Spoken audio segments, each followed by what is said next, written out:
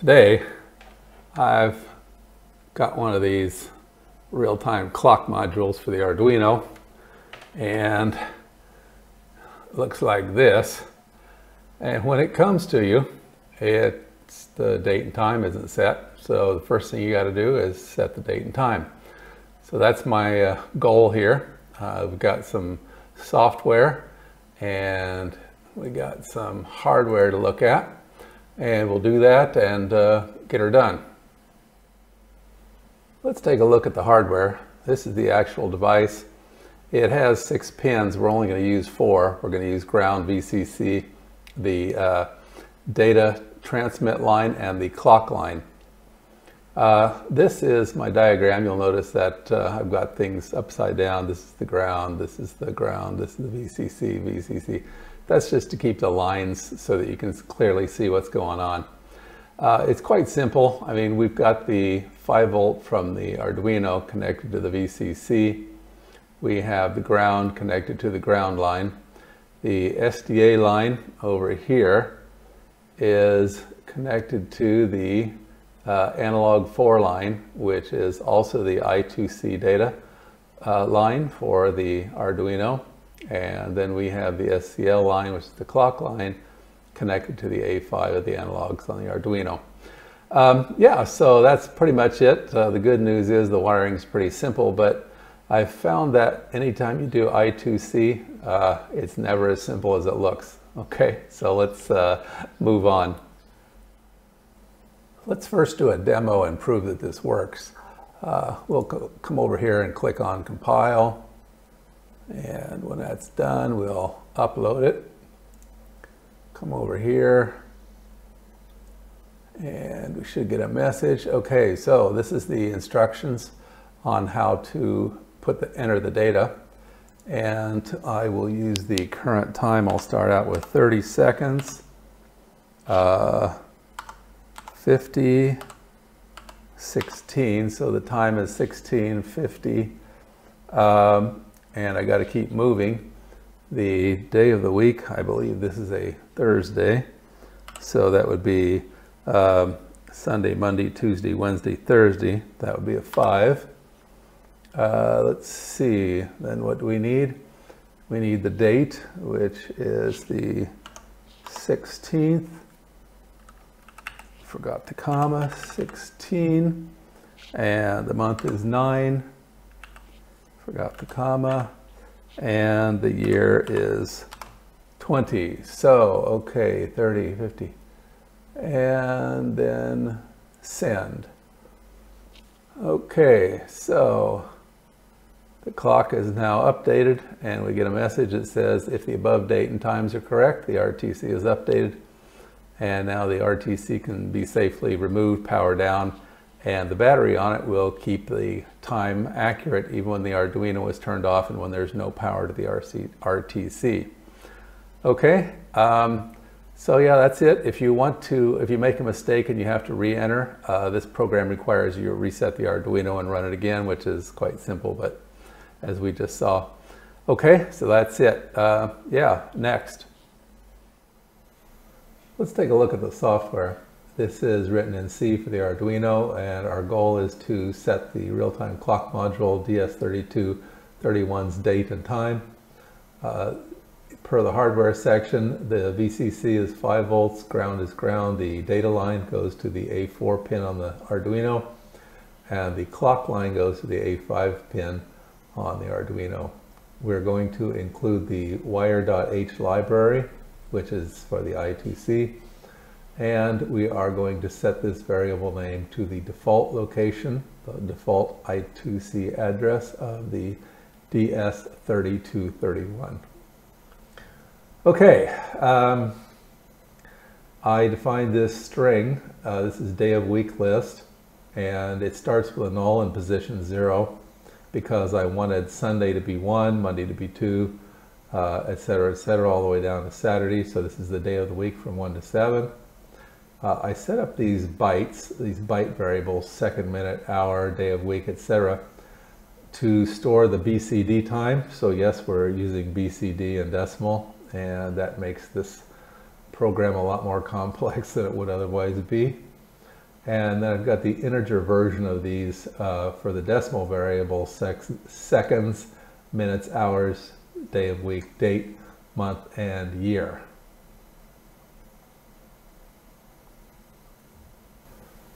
This is our first uh, function routine. Uh, what it does is it converts decimal to BCD, binary coded decimal, and it's going to take this value and I've got an example over here. This is the easiest way to look at it. So if we take an example of 51, which is a decimal number, it's five tens and one one. So first we divide by 10, and that gives us a 5. We're going to forget about the 1, and in binary, that's a 0101. Okay? Then we're going to multiply by 16, which is the same as shifting this over by 4 bits. So that will give us a 0101 followed by four zeros. Okay, so we go back to the 51 and we do a divide and then take the remainder and that gives us a 1, which in binary is 0001. And we take the 5 and the 1 in binary and we put them together and we end up with 0101 0001 and this is the BCD representation of 51. And that's what this routine is doing. So this routine is again going from decimal to binary coded decimal.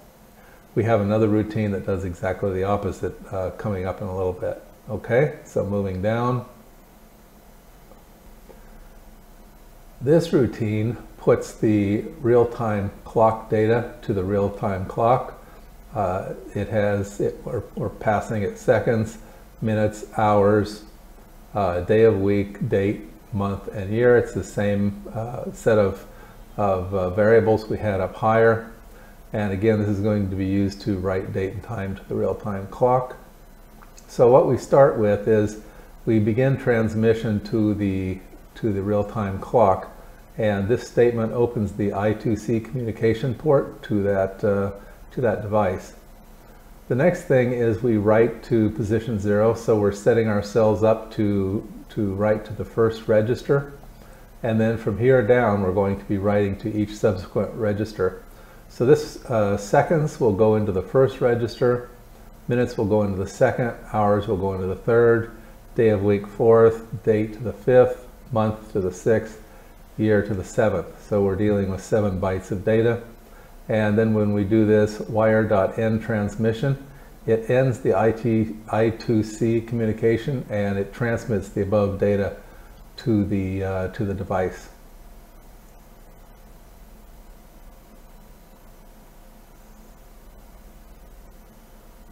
This is that other function slash routine that I discussed uh, a minute ago. This is the BCD to decimal conversion.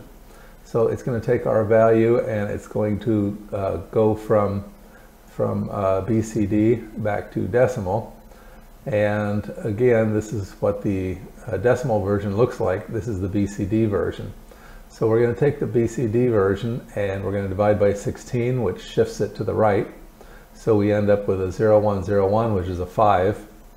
And then we multiply by 10 to give us 50. So we got our 50 then we do this uh, uh, divide and take the uh, remainder and that gives us a 1, so that's these.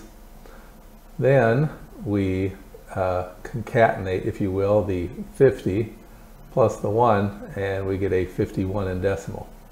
So yeah, uh, BCD always makes things harder. Every time I use BCD I have to go back and look it up and remember uh, how it works. Next routine. This routine fetches data from the real-time clock. It has the same set of variables except we're using pointers to the locations. We are going to open the port to the real-time clock through the I2C. We do the same thing. We write to position zero. Uh, yeah, I know you, I used a hex this time. It's still the same zero we end the, the transmission and then we do this uh, request from the device for seven bytes. And what that's going to do is it's going to read, it's going to read the buffer that comes back from the real-time clock. In the first position are the seconds, Uh, I did this here to remove the high order bit because it's unused. Um, this next thing, the next byte is minutes, third byte is hours, and what I did here is I removed the two high order bits because by definition they're not used. They could be in any state. We don't know what that those could be. Next is day of week, date, month, and year. So we have uh, gotten back from the real-time clock all of the information, the date and time information we wanted.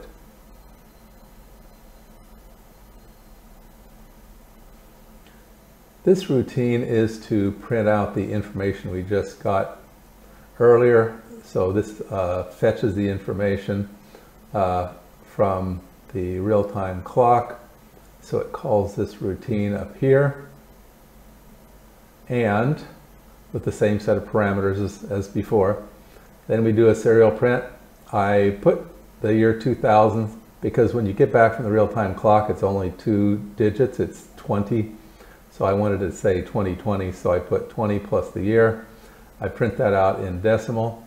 Then I print the slash, the separator.